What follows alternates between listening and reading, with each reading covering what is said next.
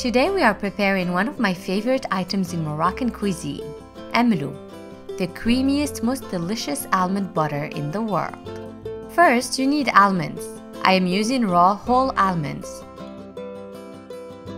Place the almonds in a baking pan, spread them evenly, and roast in a preheated oven to 180 Celsius degrees, 350 Fahrenheit degrees for about 15 minutes until they get a nutty aroma.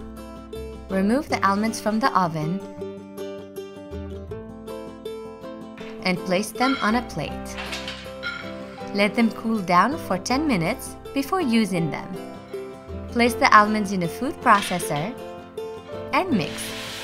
At first, you will get a fine powder, but continue mixing. From time to time, use a spatula to spread the mixture evenly in the food processor.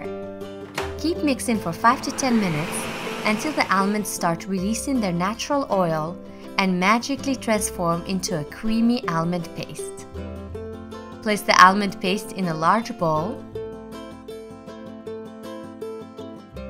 Add a large pinch of salt, honey,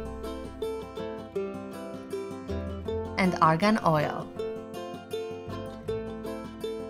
Mix with a spatula until well integrated.